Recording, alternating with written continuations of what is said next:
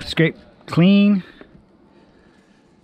It's spotless down to the bare metal.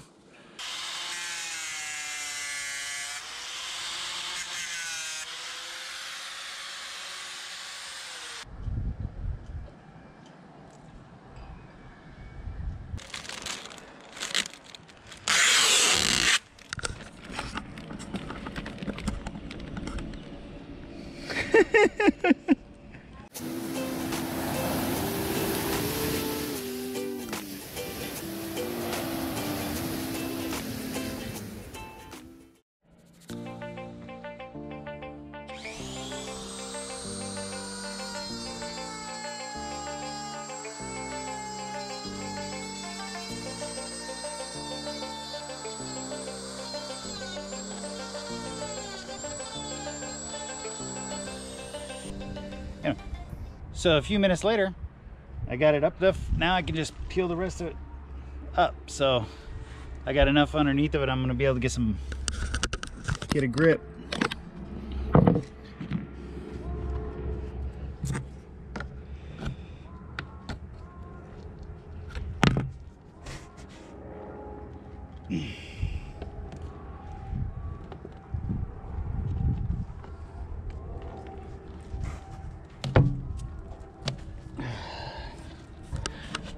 Then go ahead and work on uh, cleaning out this track really, really good.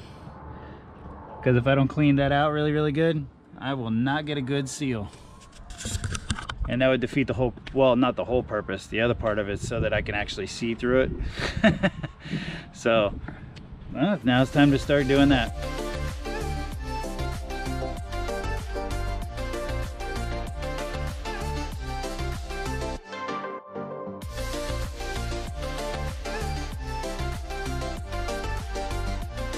All right, so we're all done. And uh, yeah, scrape clean. It's spotless down to the bare metal. I got all of the dust off, give it some acetone, clean this out really good.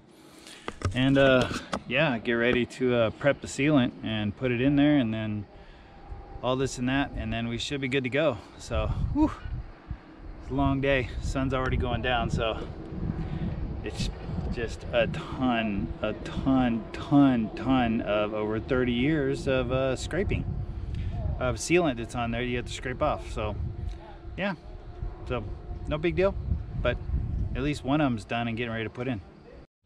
Hey you, what are you doing? I am uh, trimming the glass that we bought. We bought this uh, polycarbonate sheets and um, when I did the pattern, as you can see here, if you look really close, I was just a little bit off. So when I went to go put it in, and I was also off there when I did my pattern. So since I was off, what I'm doing is, is I put the old one and put it all on here, and then I'm using it as a template, using my sander, and then um, and then just rounding those edges off so that it's all exactly the same size theoretically, I should be able to put it right back into place since it's the same size and that's the hole that it came out of. So yeah, that's it. Just that simple. That's awesome. Yeah, keep it it definitely, it definitely um, saved us a lot of money instead of buying a brand new hatch to just because the hatch itself is in really good shape. It's just the glass, as you can see, had all this spider webbing. I don't know. They just didn't put quality glass, or maybe they're the originals. I'm not quite sure. I don't know if it shows in the film, but it has like all these weird cracks on it. So I'm taking my grinder. I'm gonna sand these edges off and uh, yeah, should be good to go.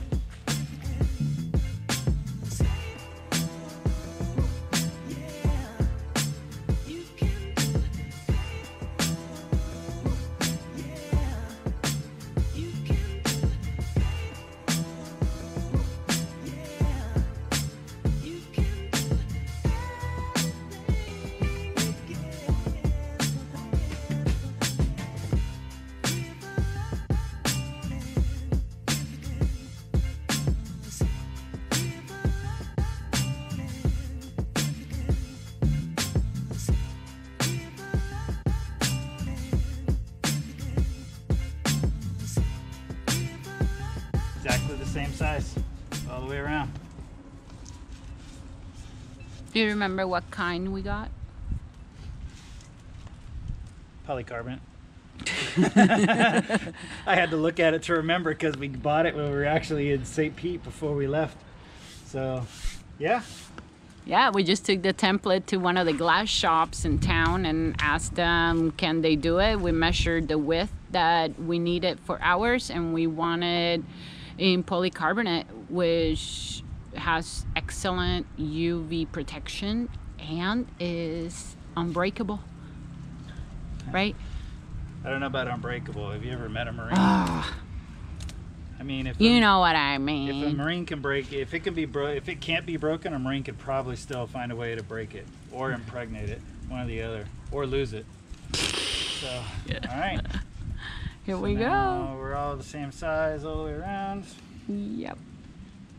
And we are not gonna cut that hole in the middle because we are not going to put a fan vent Yeah, in there.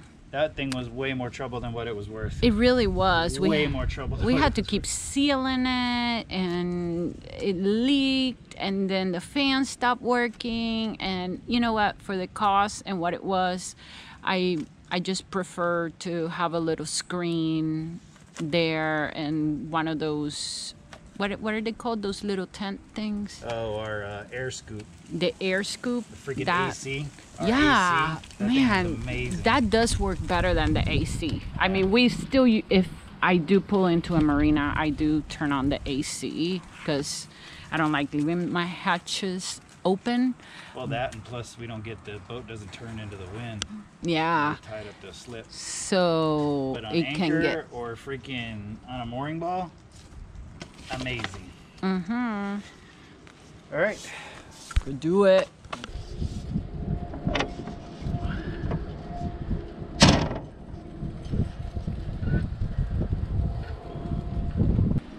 Obviously, for those of you who don't know, when you buy that's when you buy glass or plexiglass or whatever, it comes with this film on it, so that you can't scratch the surface while you're cutting it and working on it and all that other stuff. So that'll get peeled off, and um, yeah, I'm gonna clean all this up with acetone and get ready to uh, put it together.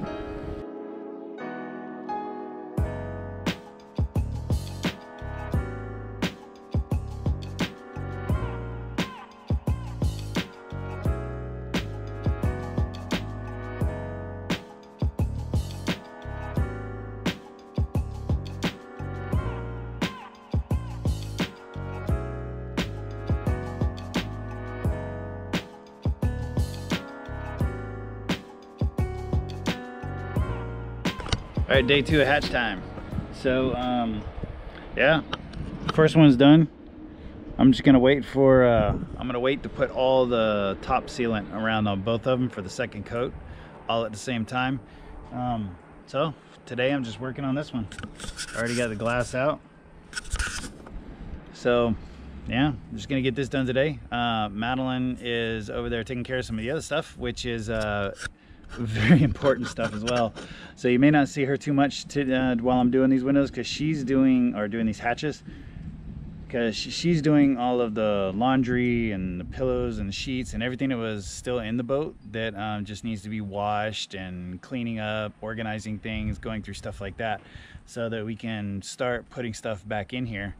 And yeah, so I'm over here today and she's over there today. Right over there somewhere. over there by the laundromat. So, and yeah, so this is what we're doing today. Super easy. Tedious, but easy. As with everything on the boat, or van, or house, or computers, or whatever, um, the second time you do something, it goes a lot quicker. It took me about probably four hours to from start to finish to totally get that one cleaned up and done and everything like that. took me about a little less than two hours to get this one done. So it's sitting here now. They're drying. I'm gonna let this uh, the first coat of sealant in here soak in and set in, and then um, once I let this first coat get kind of in here for a good couple hours, then I'm gonna come back with my clear coat and do both hatches at the same time. So that way I don't have to worry about doing one and then leaving the tube out and the tip drying or anything. It's just better just do them all at the same time. So yeah, and once I do that, I'll be able to peel off the top sheet and see into the boat clearly. It's gonna be so nice not to look up and see a spider web and an old crappy ass fan that had goop all over it and it was a mess. So it's gonna be really nice. Already cleaned up all my tools. This is basically everything I used right here. It didn't take much, you know. Handy dandy little uh, Dremel tool kit and just some basic tools. That's it. That's all there was to it. I used um, uh, I used the uh, butyl rubber sealant for the bottom coat and to hold it in and then um, I'm gonna use some clear cone marine grade sealant to go across the top same as always we're gonna have to check it um, every year obviously just like we did you know on anything. It's gonna be exposed in the sun that much and just go through and do touch-ups and maybe scrape a little bit off and touch it up and stuff like that so that it stays nice and fresh and we don't have any leaks. And because uh, that's boat life is wait till it rains so you can find where it's leaking from next. And then uh, yeah we're gonna start tackling speaking of leaks one of the things we're gonna be doing is tackling some of these things the leaks that we have on the mast one of the things that we were going to do that we never did do on last time was we have some of these line lead holes that the plates were off of so we basically had just kind of duct tape over them with the same color tape as the mast. So we didn't have to worry about it. But now we're gonna go back and we're gonna do it the right way so that they have actual line leads where they're supposed to be and they actually look nice and don't leak. So slowly but surely we're finding all the major leaks. A lot of stuff to do, but at least we got one of our big projects out of the way for the day. And uh, Madeline was able to get all of the laundry done and stuff like that. And now we're gonna start hopping into the electrical and seeing if I can go ahead and fix that mess.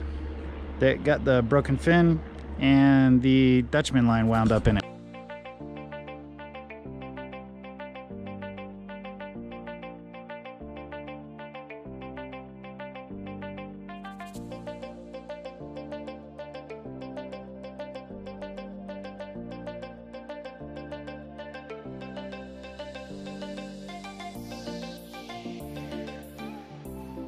And now it's time for the big reveal.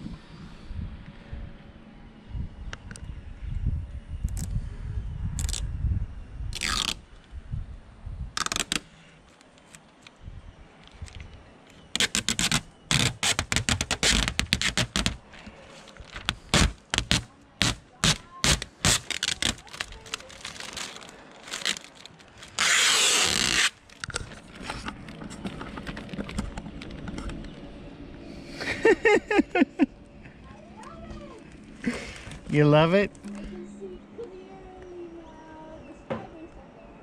the spider webs are gone. You can see clearly now. All right, so yeah, there's our end product. She's looking beautiful. All right, so both the hatches are done now. They're all nice and sealed. Looks like they got a nice clean bead all around on the inside. I guess that's the plus of seeing the getting the clear. So I'm gonna go I'm gonna go inside and check it out. See what it's like. I think Maddie likes it. And looks really good. Look. Yeah. We're gonna be able to see the stars. So Oh yeah. Look at that. Beautiful. Did you take the before? Yeah. Definitely took before. Look at all this bright light that we have in here now in the V-berth. Now I can see just how dirty it is. I know, I can't wait that. to get in here and start cleaning. Oh man, this is going to be amazing. Now I get to clean up all the mess that I made scraping.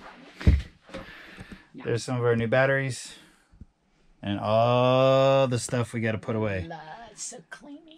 Boat projects make a mess. All right, so today is a day that's been long coming since, well, since we had the boat. Because our uh, wind generator has always been kind of eh at best. and um, it got a broken fin on it. And then that storm in Rodriguez Key actually did it in uh, that night. Ever ever since that night, um, we think that um, I didn't tie it off, so we didn't have a brake on it. And I think that the winds were just so high that night that it actually burned it out. So today, ta-da! Got us a nice new wind generator. So we're gonna go ahead and throw this in. It's about the same specs as the old one. It has a, um, it's a, uh, it's about the same specs as the old one. It's a 400 watt generator, but it's a five blade instead of a uh, three blade. So the startup before it starts charging is a lot less speed and um, it is actually rated up to uh, the maximum wind speed is 100 miles an hour. So we don't have to worry about getting caught in squalls and stuff like that and me forgetting to tie it off again because hopefully we won't be getting in any squalls that are going to go more than 100 miles an hour. So yeah, I'm just going to knock this out and start putting it together and hopefully maybe be able to get it in today. I may get it on the pole, but I may have to wait till tomorrow to put it on. And then um, I'm to throw in some batteries. So yeah, I just need something to charge them because there's no use in me putting it up if there's nothing to charge it with. So I can do it all at once. I like doing all the electrical work together.